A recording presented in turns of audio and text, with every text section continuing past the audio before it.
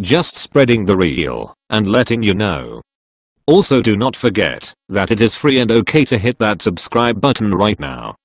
Recent studies have shown that this rare blood group may indicate non-human traits in your makeup which set you apart from the conventional DNA of Homo sapiens. There is a lot of confusion about the origin of the word Nephilim and what it means. In Hebrew it literally means to fall. As in fallen angel. The Bible, the Talmud and the Quran, where they are referred to as jinn, all speak of fallen angels. In the book of Genesis and the Bible it relates how the Nephilim produced children with humans. One was even depicted as killing Japheth Noah's son, and taking his place whereupon he fathered many children with Japheth's unsuspecting wife which eventually populated much of northern Europe. Experts can't agree about where the origin of this side order of humans may have originated, citing fallen angels, Nephilim, or aliens as possible sources, but they do agree on the characteristics which can include higher than average IQ more sensitive vision and other senses, Lower body temperature higher blood pressure increased occurrence of psychic slash intuitive abilities predominantly blue, green, or hazel eyes red or reddish hair increased sensitivity to heat, and sunlight cannot be cloned extra vertebra once you have finished checking yourself over. If you are rhesus negative you are already very special as very few, 15%. People fall within that category, it's interesting to note that the coloring referred to in these characteristics are typical of Northern Europe, an echo of the biblical story of Noah's son being murdered by the Nephilim and the children produced populating Northern Europe perhaps. But what does rhesus negative mean exactly? Of the human blood types, O is the most common. It is a universal blood type. Blood types are further broken down into two groups, negative and positive. This is called the right hand factor. The right hand factor is the rhesus, rhesus as in monkey, blood factor. If your blood tests positive for this, you have the factor in your blood. If you test negative, you do not have the factor in your blood. The right hand factor is a protein found in the human blood that is directly linked to the rhesus monkey.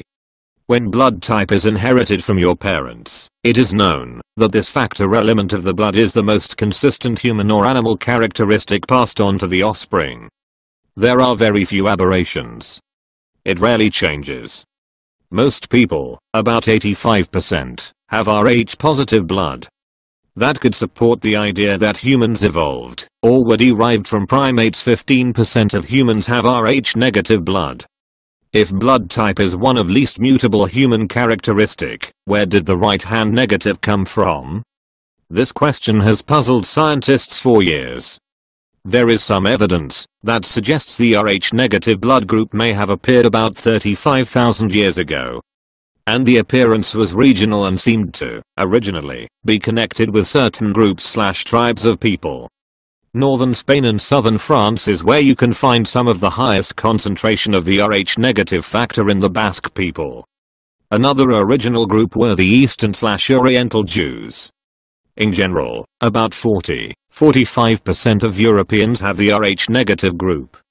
Only about 3% of African descendant, and about 1% of Asian or Native American descendant has the Rh negative group.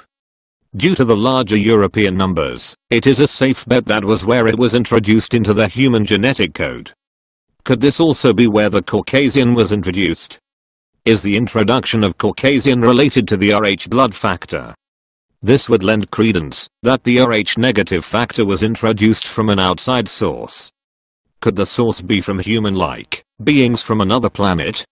Or maybe we are just as alien as they are, in that we are a product of their manipulation and interference.